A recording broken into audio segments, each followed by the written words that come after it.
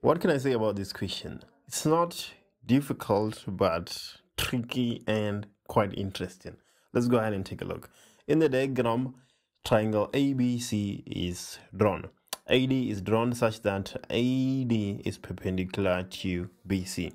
Right. Then the first question, 7.1.1, let's see what we have. So let me just, there we go. What does it say?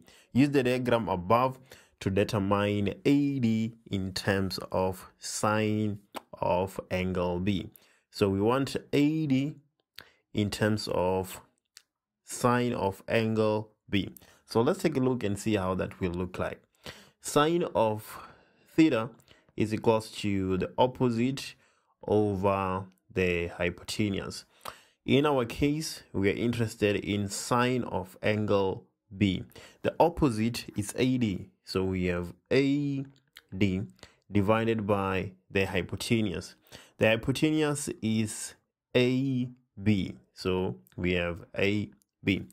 If we make AD, if we want to make AD, the formula, we can cross multiply. We're going to have AB sine of angle B being equals to AD. So there we go. We have AD in terms of sine of angle B. Let's go ahead and do 7.1.2. Let's just verify that what we are doing 7.1.1 is correct. We have sine of B being equals to the opposite. The opposite is AD and the hypotenuse is AB. If we want to find AD, we just cross multiply. That seems to be fine. 7.1.2 hence prove that the area of triangle ABC is equals to a half BC AB sine of angle B. We know that the area of a triangle, if we're given the height, is just half base multiplied by the height. So in our triangle ABC, the height is AD and it's highlighted in red already, in red already. And then the base is BC. This is the base of our triangle. So if we were to substitute here, we would have the half base is BC and the height is AD. So we have AD right here. But we know that AD is AB sine of angle B. So instead of writing AD, let's substitute AB sine of angle B. And just like that, we have proved that the area of that triangle is a half BC. Not B here, but BC. Let me just erase that. So it's a half BC multiplied by the height, which is AB sine of angle B. AB, not AC. I'm being very sloppy, just making silly mistakes. So there we go. That is 7.1.2. Let's take a look at 7.2. 7.2, quite an interesting one. In the diagram, points B, C, and D lie on the same horizontal plane.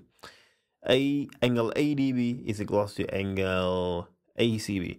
So this angle ADB, um, where's the angle? This one right here is equal to this one. They are all equal to alpha.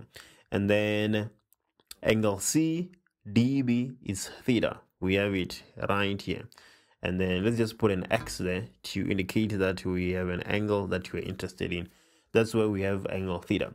And then the side DC is equals to K and BD is equals to BC. So this side is equals to this one. What does the first question say? 7.2.1. Let's prove that AD is equals to AC. This is what we are required to prove. Let's see how we can do that. AD is a side in triangle ADB. So, okay, let's take a look at that triangle. In triangle ADB, right, we are stuck in triangle ADB now. A AD, AD is the hypotenuse, right? So we can say that um, what connects the hypotenuse and the the adjacent? Is it cos or is it sine?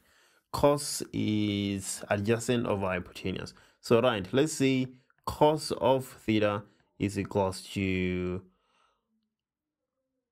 the adjacent over the hypotenuse right we know that to be true so in this case in that triangle we're gonna have cos of alpha being equals to the adjacent which is db divided by the hypotenuse which is ad if we rearrange it, we end up with ad being equals to db divided by cos of alpha. So that is in triangle adb let's take a look at triangle abc we're going to run with the same idea. We're going to have cos of alpha being equals to the adjacent which is bc divided by the hypotenuse which is ac making the hypotenuse the subject of the formula we get bc over cos of alpha.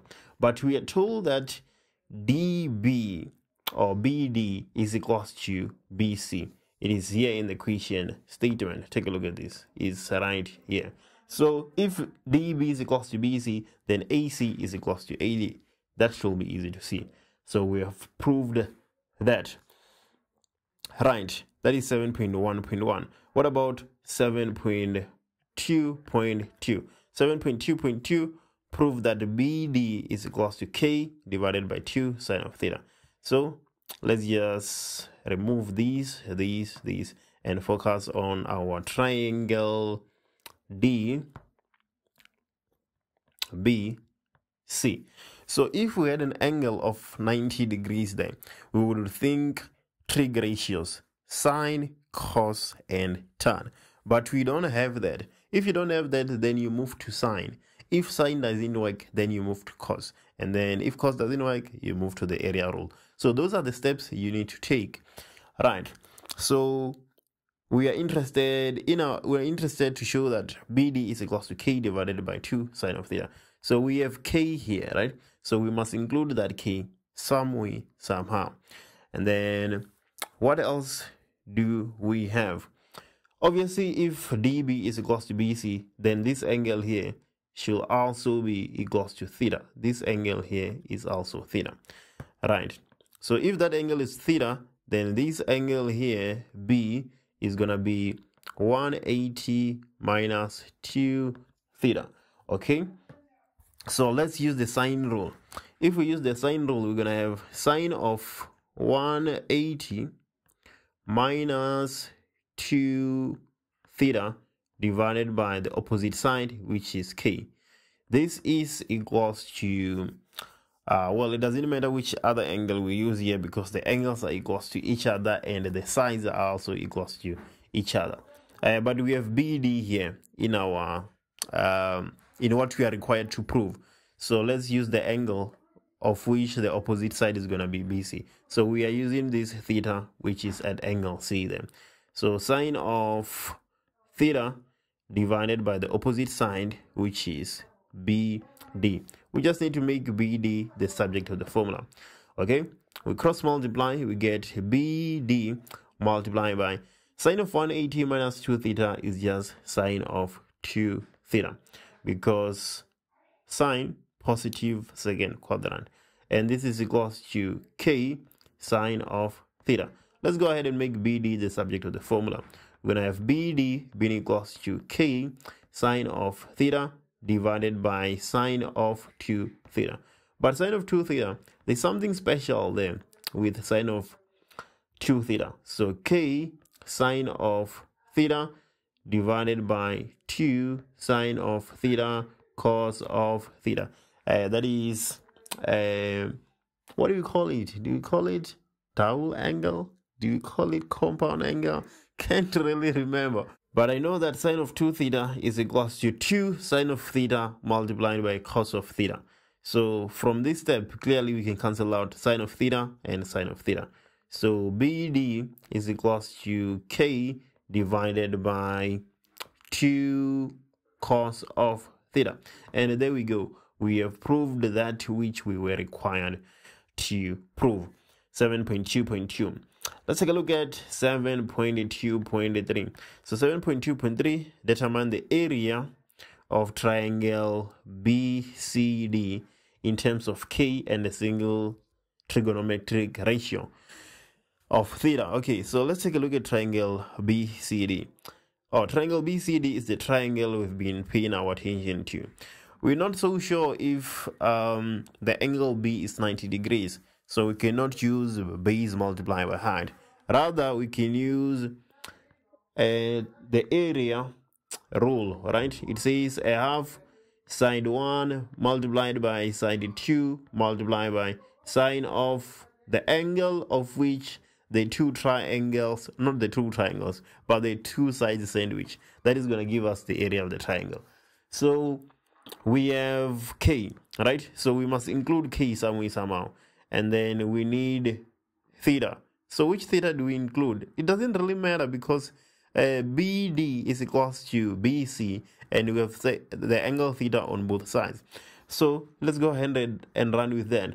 So we're gonna have a half uh, side 1 let's take k so k multiplied by sine 2 either bc or bd but we have bd from 7.2.2 so let's use bd and then this is gonna be sine of theta because sine of theta is the angle that the two sides sandwich because you are taking this side and this one they sandwich that angle which is theta so let's go ahead and take a look we're going to have a half multiplied by k.